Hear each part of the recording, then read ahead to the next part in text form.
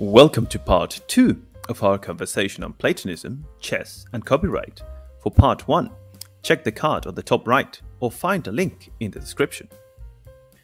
In this video, we shall continue our discussion about copyright and chess and its link to philosophy and Platonism. Also, Grandmaster Van Foreest will share his thoughts on chess style, chess engines, and the actual practice of chess at top level. I hope you enjoy it!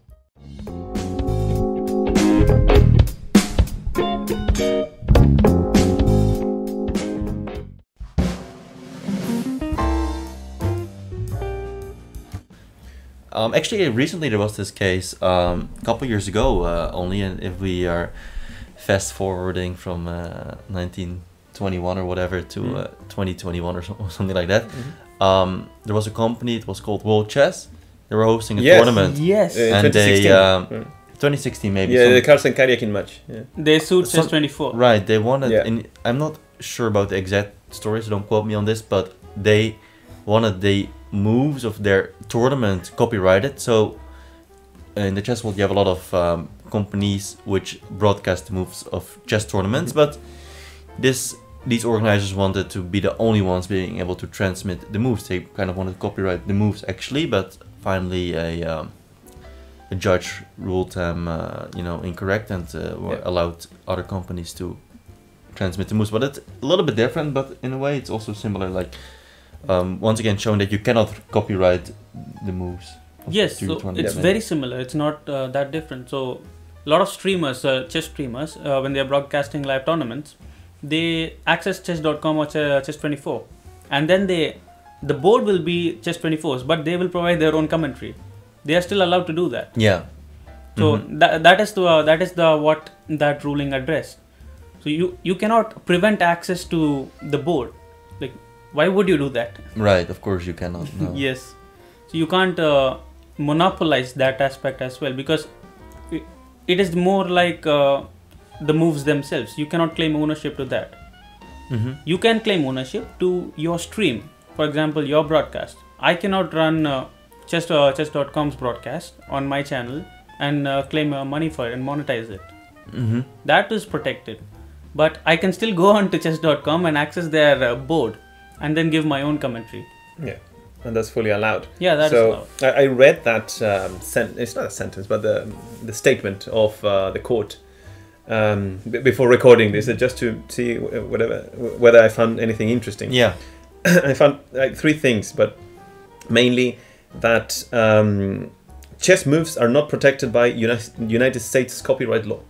Okay. This is because, like sports, uh, scores and statistics, the moves that a player makes on a chessboard during a match are not creative works of authorship.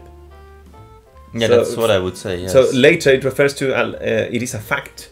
yeah. Like for instance, uh, Van Foreest sacrificed his bishop on h7. yeah, it is. That's fact, something yeah. that happened, Yeah. and that's how the law. No, I think it's more like it? this. For example, you know pi, three point Okay. one four. And, and more, please. I know three One five point one nine four. two six five three five Okay. eight nine seven nine. we will. Sheesh, we you will know a lot more than me. we- we- will Two, go- three, go eight, this- six, four. yeah. I lost. Let's Okay. keep going. I come on, put come on. pi on. on top and then let's see. There. It will Jorden and pi. It was A recent. Recently, it was Pi Day. Like. Uh, Yeah, yeah. The or 14th, it's coming up. It's coming up. Fourteenth of March.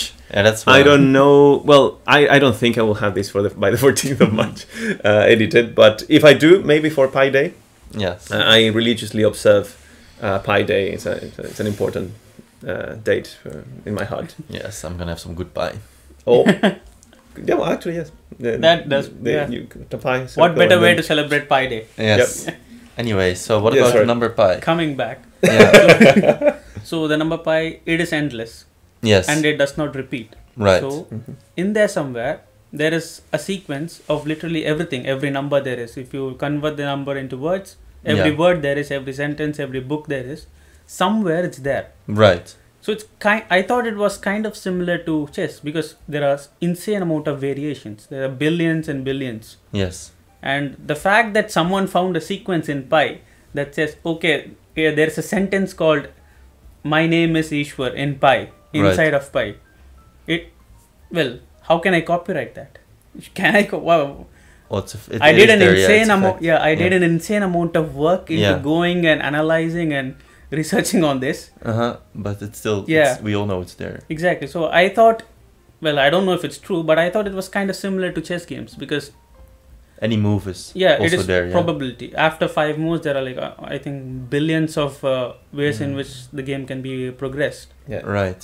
Well, And- the, the yeah the actual number of possible. I don't know, but of course it's finite, but it's really big. Yeah. Yeah, and I- I mean, More- if, if greater than the amount of atoms in the universe. Yeah. After it goes to infinity, but it's not quite at infinity. No. Almost, I guess. There is. I think there should be an end because the Yeah. The actually in, the interesting part is like there's of course an infinite amount of possibilities, but the practical game of chess it's actually quite limited in a way because there, like why? Tell us. Come on. Uh, Tell, Ah. tell, tell, tell the crowd. Yeah, well, basically ninety nine point nine nine nine and etc. of the positions just never occur. Like In um, top chess, chess is being is a logical game. You know, there's a reason every move is is the best move, and naturally um, most chess games naturally progress according to more or less the same lines. Whereas most of the chess positions, you can set up any random number of pieces on any random number of squares within the 64 squares available, but they are not logical positions. They are not likely to be achieved. In fact, they're extremely, extremely unlikely. Yeah. So, um, well, this is also what makes good chess players is just their pattern recognition because um, a lot of the things we see we have seen before um, because they this the same things happen over and over again at least in a logical game of chess between two people trying to play a normal game of chess yeah the Berlin. Yeah the Berlin the dreaded Berlin defense Right, right. The No, but uh, in, in, but it makes sense that uh, okay. For instance, uh, in this, I remember this court statement. Uh, they were also referring to preparation. You can you can claim that, but this is my prep. You know, my, yes, my preparation. we do all the time Yeah. Uh, I mean, back in the day, remember Kasparov, before, you know, when ChessBase was starting be- to become a thing, Mhm. right Kasparov would keep uh, his um, preparation like completely in secret in the hard drives and Yeah. whatever, Yeah. and not share that with anyone because this is mine. Um, but uh, well, indeed, he was the first, you know, to spot some in, uh, innovations. and He was doing that constantly for many years, which made a huge difference, let's say, in the '90s and early 2000s. But the um, but then this court says like not even preparation counts as a creative um, endeavor, let's say, because preparation does not uh, force, let's say, an outcome. Does not force anything. Like you can have a top Yeah. preparation and still lose. oh that's very interesting because um You cannot copyright novelties either. yes but because the purpose of copyright is to well, what would you achieve by copyrighting a novelty? some people um have been contractu- contractually obliged not to share for example information they um but let's say you work for someone Right, I, I get You know- seconds. yes Yeah. yes and Seconds find- are the analysts of like a team you of find you find people. some amazing opening novelty um and then contractually they're not obliged to share this with anyone else or play it themselves because it's work done for you know um the player you're seconding uh, Right. basically the, the player you're training for so that's interesting as well whether that will be legally allowed or whether you can just say well that's all great what you're saying but um, you know my opening ideas are not copyrighted um, they're there for anyone to find i can just share them Yeah. So yeah, so people nowadays um, they're more generous. I, I read an article, I think it was, uh, where I got this an- uh, Kasparov anecdote, and they were comparing it to Anish Giri, I think. right He was like, "No, I share my prep with everyone." Like he, Yes. he has like this sort of. Well, you know him personally, so obviously, but. Uh, but yeah, they- they're putting Kasparov in, in that time, Yeah. yes uh, and then Giri on the other extreme, like no, just share it, Yeah. like make I some saw- courses or whatever. Yeah, I saw a video where he explains why he does that because he, t- I th- I don't know if it's right, but he says that it is only when I've exhausted all of my resources that I will actually go back and start working again. So if I have something something at the back of my head saying that okay, I still have this line prepared, mm-hmm I won't be motivated to work to my fullest potential. mm-hmm mm-hmm mm-hmm yeah I thought that, that was interesting and that was really cool. He once told me that he has so many ideas, but he anyway only remembers one or two of them. So he says there are many people with way less ideas, but at least they remember more of them. Kind of ideas how to play. so it's Yeah. interesting as well. I mean, he's done fairly well anyway. Yeah. He's doing okay. I don't think he can complain. But Yes. um, so yeah, so the last point I would like to touch is also um, a question Ishwar um, gave me. Um, so how would you d- understand when in chess you talk about a player's style? So this would be another what is X question, although uh, I will not be very platonic with this one because it's um, it's a more slippery concept. You know, it's like Right. harder to grasp. But in chess we talk about style. Yes, yes. So- um, I've thought a- lot about this, about about style. For example, even trying to understand my own style to Mm. become a better player. And then at some point, I even wondered, is there even such a thing as style? Um, and I found it really hard to to say because I don't know myself, my own style. I don't. People always say I I play in this way, but I'm not sure I relate to that. So um, it's it's it's interesting. um, I definitely like to think about style because let's say you're preparing for someone, you try to you know put them into boxes, kind of to okay, this is their weakness, this is their strong point. I'm Mm. gonna prepare like play like this, but um, I I do I do believe um, people have maybe very slight um, preferences in how to approach the game. For example, you have option A and option B. Um, they're both equivalent. That happens all the time, but one is going to be sharper and the other one is going to be um, maybe more risk-free. Like you have tons of such moments, even when you're preparing for a game, you can choose such. And then some people will have the natural preference to go for the sharper, more riskier one, but um, of course also a good option. And others will try to limit the risk, but also re- maybe retain a small but stable advantage. So this is maybe kind of a style thing, but Mm. um, it's really it's really hard to see, um, especially when you're yeah playing your When own game you. of chess. Yeah, And Yeah. I'm also curious. So, I- do you? Mm, how how do I put this? So, do you assess the criterion of style when you're choosing an engine that you're working with?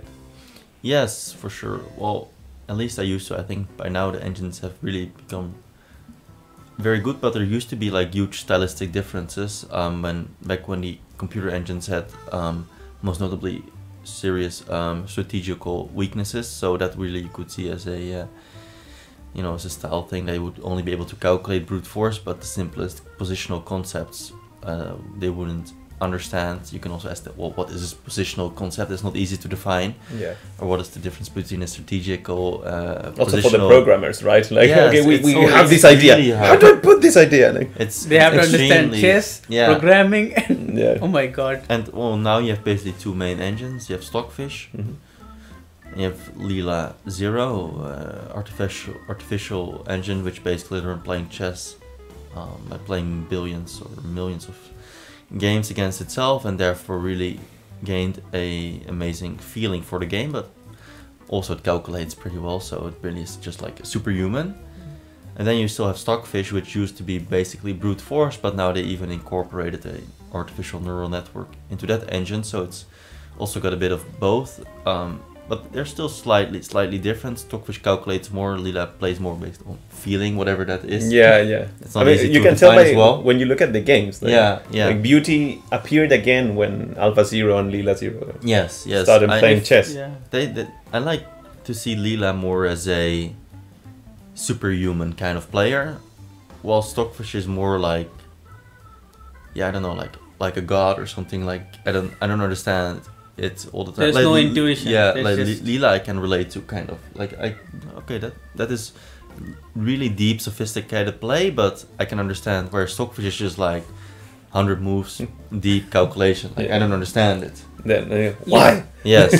Yes. So, I think like nowadays at the top level, the uh, different engines give different evaluations for different positions. yes. For, uh, for the same position. Sorry.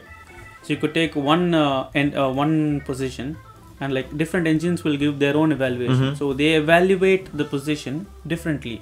Yeah. The way in which they are trained to do. Yeah, for sure. Um, well, also evaluation is um, um, it's it's an interesting thing because, for example, the Leela evaluation. Um, um, or in, basically, we usually look at evaluation in centipawns, at least humans. So you have the equal value is zero.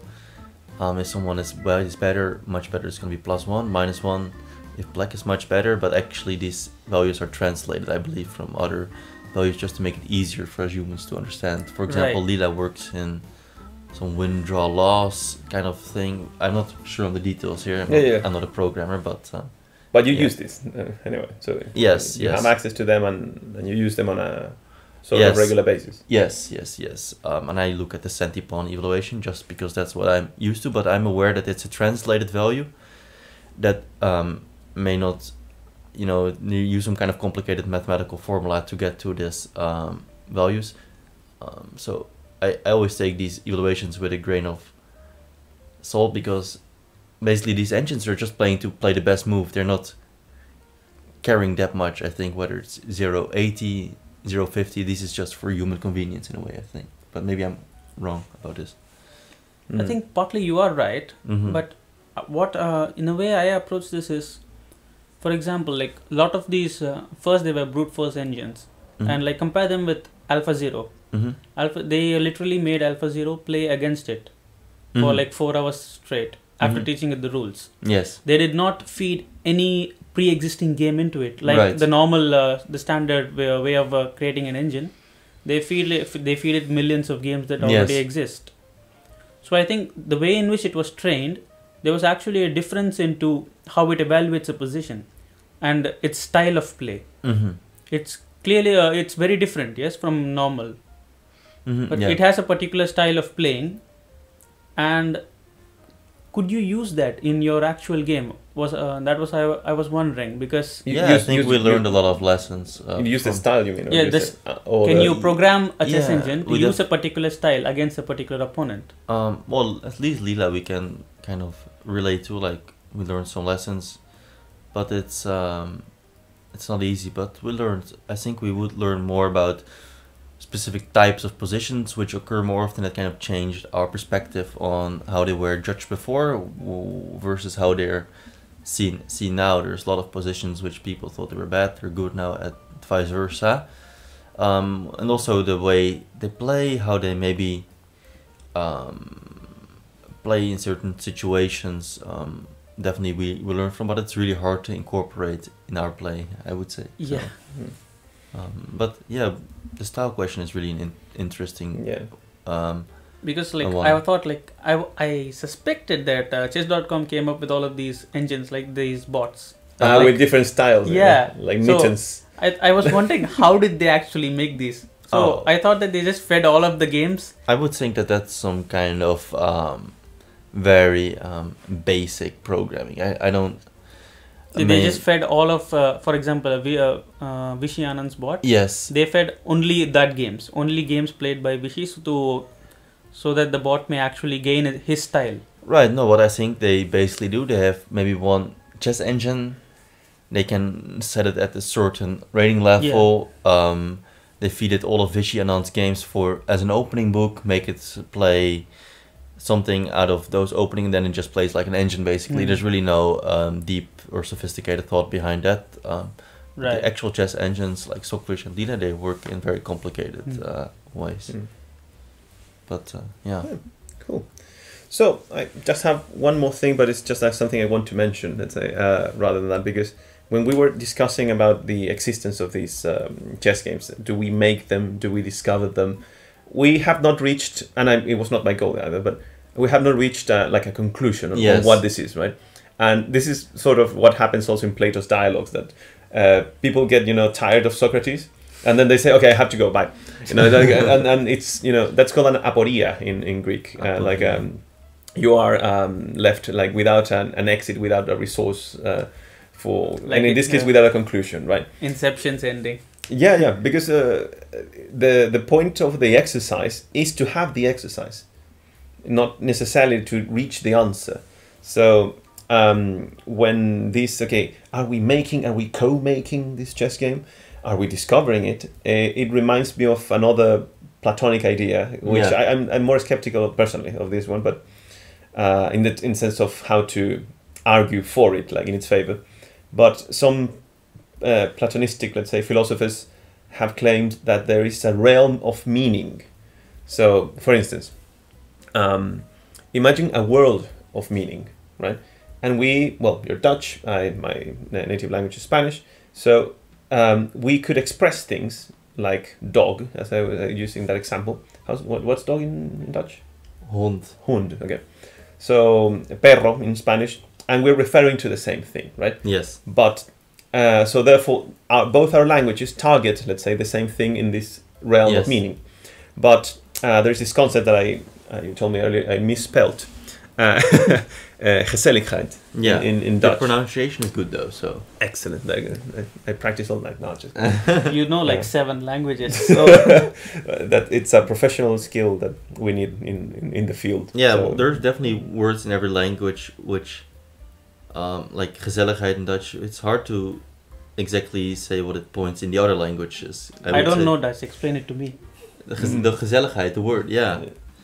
Um, well, basically, it basically means having a good time with other people, kind of.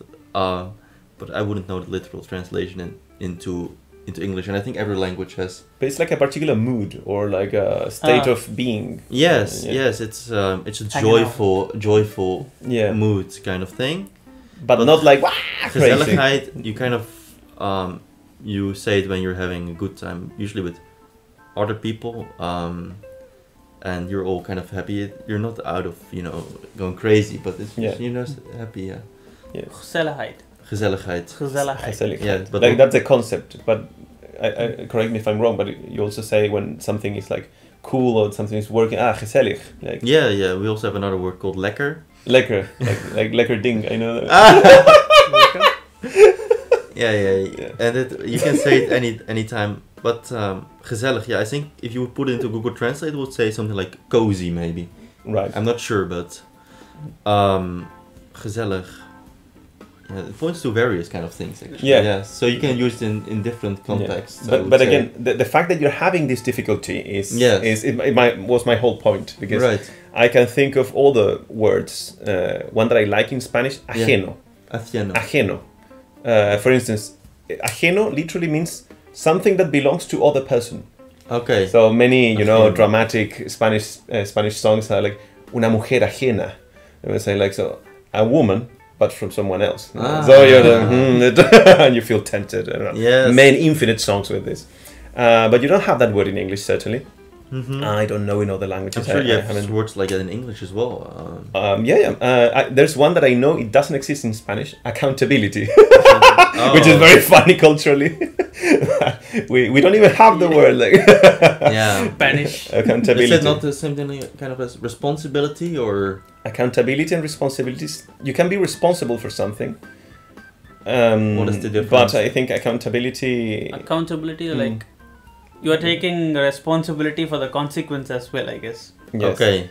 yes It's more we- we- we- we- Ah, the consequence. if you're the responsible yes, you yes. cost it in a way but in, in accountability eh, eh, you give me your opinion you not only cost it but you are responsible about the outcome Yes. and uh, you need to respond to this you need to be accountable you know. Yeah, yeah, yeah. uh, you don't say you need to be responsible No, you Yeah, need to be no. accountable. You actually have to um, owe up to uh, whatever Yeah. you did. Yes. So in this realm of meaning, in a way, um, the parallel with chess that I wanted to draw was that you have a world with all the possible chess games that can be played, and whether you play it on a board in, of any kind of board or in your mind with uh, blindfold chess with someone else or just in your mind uh, yourself, you're accessing this realm of um, possible chess games, and you just express it in different ways. Be it in a uh, train of thought in your mind or on a piece of paper when you annotate it only, or when you speak and uh, play the blindfold game just speaking Yeah. with someone else, or the actual chess game recorded, connected the board to the internet and broadcast anyway. So um, it's like the different languages in a way that they It all is. access the It same is. object from different Right, so- uh, sides. It's like. Right, that does make sense. So it's like all all roads lead to Rome, and Rome is that chess game. There are a lot of ways of accessing it. You can Yeah. play by blindfold. You can play on the board. Yeah. I, I will not give support to this idea, and a lot, at, at least not in this video. If you like it, put in the comments, and I, I can make an effort and try to justify it. But uh, in my, you know, Platonistic intuitions, this realm of um, the, with the whole possibilities of, of the game in this case, or language expression, Mhm. the realm of meaning, makes a lot of sense to account for the experience in a way. Um, because in order to co co make or co create something in the case of chess, you, you it's not that you're making a coordinated effort with your opponent. Like, rather, No. you're trying to keep that part hidden, you know, from from the other guy in Yeah. front of you. And Yeah. also, like, if you copyright a game of chess, for example, if you copyright a novelty, what have you basically achieved by doing so? Yeah. Well, you could say that uh, I want a copyright because I want my Yeah, name feels- associated yeah, with yeah. that game, but you already have that. Fischer Spassky game not, 11, no not- one's going to say. always. There's tons Also- of cases where like um, some player finds novelty, but another player gets to play it first. Then the credit goes to the other person who played it first, doesn't it? Yes, so, but anyway. So if you, let's say you find a novelty on your laptop somehow had oh, then you go out into the world, you make a huge post on the internet or whatever, and you're like, this is my novelty, nobody can play it. Then you're sure that nobody else Yeah. will be able to. Yeah. I mean, wh- why do you copyright things? You, to say like you cannot use this without my permission, uh, Yes. or profit from it at least. Yes, that is Without- what without- uh, the main aspect of it. But then the blog post, if it's a blog, let's say, Yeah. that could be copyrighted, but not the move. Yes, Mm-hmm. Yes. what I can't play this move ever again in the future. No, he put a blog post and now I cannot do it. I will play it anyway. you know? Yeah. Watch so the me. thing, the thing about novelties, if you really want your name associated with it without copywriting it, which is of course impossible, is just hoping that you get to play it first. And uh, yeah, truth be told, uh, more often than not, uh, other people play it before you, yeah, and then the credit goes to them. So it's a bit of a uh, who gets there quickest uh, or fastest way, and it's uh, yeah. usually not all your own influence. It depends Yeah. on the opponent. And it's, I think also to, to bear the name of the move, it's not only, I mean, even if you don't play it first, you need to play it in a more, um, how to say, uh, generating an impact. Yeah. Like, I don't know, the last time we saw each other, I remember this, uh, one of the Blitz games, it was, right. uh, ah, yes, uh, this reminds me of Kramnik, uh, Aronian Kramnik in the Uh-huh. Candidates 2018 with Rook G8 Ah. idea in the opening. It's like, I hope I can edit and put the game so people can understand what I'm Yeah. referring to. He played Rook G8. Maybe it was not a novelty because he said he It found it a many years ago, concept, maybe. kind but it was new to the field, and he crushed Aronian with with that. And because of that outcome, let's say, okay, in my heart at least, like no, this is Yeah. the Kramnik G8, like, and, and I'm afraid. yeah, now. you you you quicker will relate it as well to you know big name like Kramnik. For example, Yeah. I have some friends and they claimed they played an idea first, and then maybe two weeks later, Kramnik, Anand, Carlsen played the same idea. Of course, their name will be associated with the idea and not Yeah. of my uh, random uh, amateur friend, let's say. Yeah. So uh, yeah. So we But amateurs There's, have there's no also a di- difference between an actual novelty, an actual uh, novel idea, maybe. Um, all these kind of things are different. So yeah. Well, guys, thank you very much for coming to this conversation. Um, Yeah. How do you feel, guys, after after this? It Uh, was uh, good. I, I somehow feel very uh, relaxed. So maybe the uh, that's the best prize. I guess. philosopher in me, uh, you know, I Yeah. will start thinking more now, more clearly. He's Really? pulling out your inner Plato. yeah. I, I'm not feel? gonna go around town now uh, being Socrates though. Don't. uh, The guy, the guy got killed for that. He got Okay. killed? Yeah, Yeah. he got die, killed, man. executed. Like it was the the whole town. Let's say, like the whole city. is like, no, we execute this guy. Right. So Um, Well, that's what happens when you go around asking every people, well, who are you? yeah, and he also made a a part, very particular kind of defense. He instead of apologizing, which was the, the main thing everyone did, he said like, no, no, you know, you know, the state should pay me a stipend because of my contribution to. The, Ah. okay, we execute you. Like that's yeah. it. Be gone with you. How do you feel, Ishwar, after? Yeah, it was fun, and yeah, this is more a conversation rather than an interview, so That it was, was really the- good. That was the whole point of it. Right. So, okay, we're gonna say thank you to the people in front of us. I, I think we, we've been laying back progressively. We Well- forgot we're on camera, yeah? yeah. Well, thank you very much. If you're still there, it was uh, a bit long, but I loved it. So, thank you for Thank coming, you, Jorden. Stefan. Ishwar. Thank you. Thank you very much, and till next time. Bye bye.